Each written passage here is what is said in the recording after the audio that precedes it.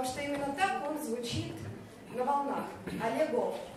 Олег сегодня обещал рассказать нам много интересного о работе Пионер ФМ, может быть, немножко, ну, такие моменты продвижения, потом музыкальная редактура и прочее, прочее, плейлисты и все такое прочее. Во всяком случае, не обещаю. А если вы будете задавать вопросы, то дело пойдет вообще здорово. Все, Олег, вам слово. Приветствую вас. Вы уже можете сразу спросить что-нибудь. С чего начать? Что вас интересует более? Сначала. Сначала. С вашего позволения могу?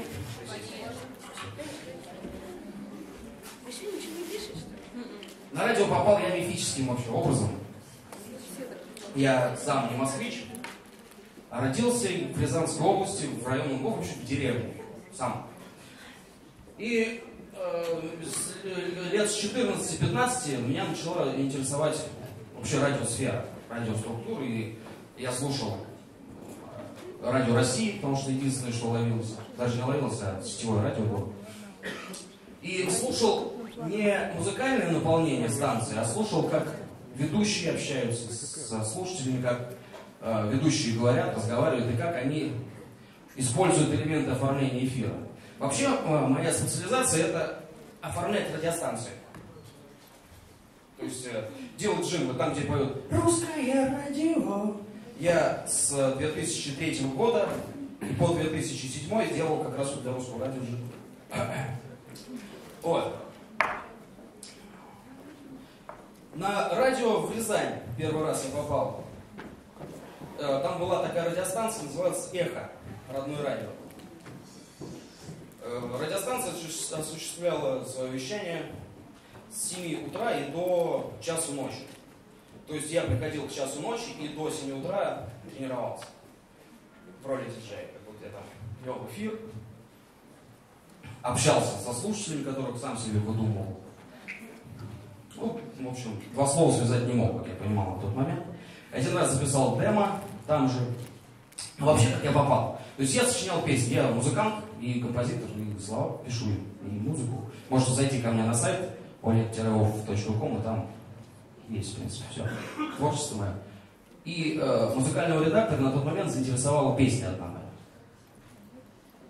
Э, Мы записали ее, она начала крутиться в ротации. Все думали, что я музыкант из Москвы, крутой, я деле из деревни. Э, Заказывали эту песню. И, в общем, э, заболел я радиостанцией и стал проситься работать в эфире.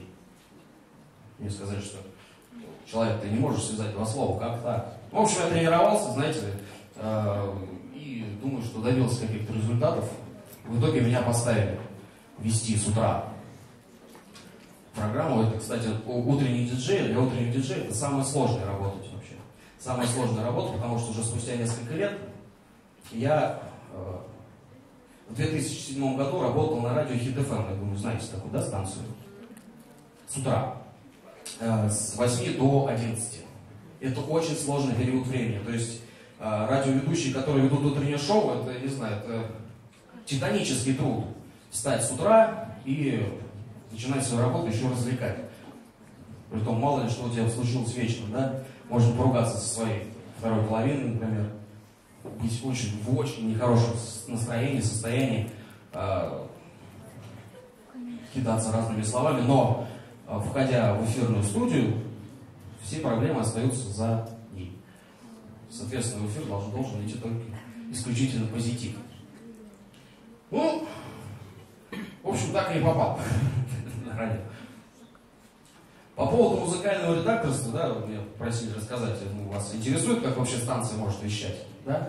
Если раньше вещание осуществлялось с компакт-дисков, а еще ранее с пластинок, э, кто-нибудь смотрел с вас фильм «Рок-волна»? Понравился? Отлично. Вот там как раз пластинки крутили люди, да? Очень хороший фильм, посмотрите. А день радио кто-нибудь смотрел? Сходил на спектакль? Да. Я тоже ходил. В принципе, есть немного правды, но не совсем. В общем, сейчас э, музыкальное вещание в России вообще очень активно развивается. На сегодняшний день я являюсь музыкальным редактором радиостанции Пионер ФМ, могу управлять радиостанцией из дома. То есть даже ну, э, включать те песни, которые можно исполнять по заявкам. Мне звонит друг, скажет, поставь ты там Владимирский Централ. Да не вопрос. Сейчас поставлю, находясь дома. Ну, это опасно, потому что любой хакер может влезть. Поэтому э, очень аккуратно этим управляем. Э, и сейчас очень сильно развивается именно программное обеспечение. То есть на сегодняшний день, я бы сказал, Pioneer FM единственная станция, которая э, обеспечена программами именно по последнему слову. Я общаюсь напрямую с производителями этого программного обеспечения, они находятся в Санкт-Петербурге, компания Тракт называется, они, в принципе, на программе этой компании Тракт, там DJ называется, программа, которая генерирует и составляет плейлисты расписания, называется MAG, вот я ее сам освоил, без помощи даже разработчиков, потому что, ну, в принципе, все логично. Могу сказать, как работает программа по составлению плейлиста. Интересно? Пишет маркер, да? То есть плейлист это некий набор песен. Я бы сказал, что программа MAG, э, существует несколько программ, которые делают расписание, генерируют. Это Power Gold, это самая распространенная. Программа не бесплатная, и, по-моему, ежемесячно приходится э, пользователям платить по 200 долларов за программу. Зачем тратить деньги, когда есть э, дешевый вариант и выполняет, в принципе, те же самые функции. Есть селектор, все на английском языке непонятно ничего, в основном, потому что разбираться времени, как обычно, не бывает. Потому что, знаете, пришел э, продюсер станции, вот в моем случае Андрей Чижов, и сказал, надо делать станцию, потому что выходим в эфир завтра. Мне дали 100 песен, всего набор песен, 100. Это значит, что песни будут повторяться в сутки, ну, раз 8 сыграть точно. Кому это интересно? Радиостанция Пионер ФМ вообще стала интересно, почему? Во-первых, песни очень редко повторяются, ну, по крайней мере, на сегодняшний день. Вообще в базе э, радиостанции уже более двух тысяч песен, а это и немного, и немало. То есть это как раз для, для того, чтобы песня за сутки ни разу не повторилась. Это и удерживает аудиторию э, на достаточно длительный промежуток времени. Потому что если, допустим, взять... Ну, DFM-станцию вы знаете все, да? Там работает очень много моих друзей генеральный директор Игорь Азовский, тоже мой очень хороший друг. А, песня у них э, может повториться одна и та же пять раз в день. То есть, ну, один раз послушали, два раза послушали, три, на пятый он уже надоел. Да? И так каждый день. Это плейлиста, так называемая горячая ротация.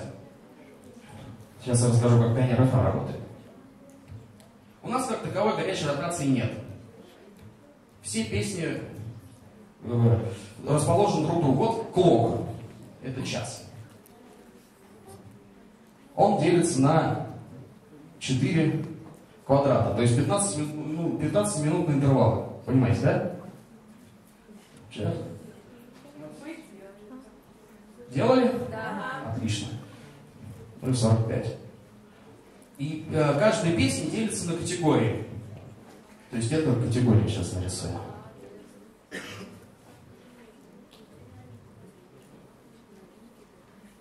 Ну, к примеру, есть русскоязычные песни, да, есть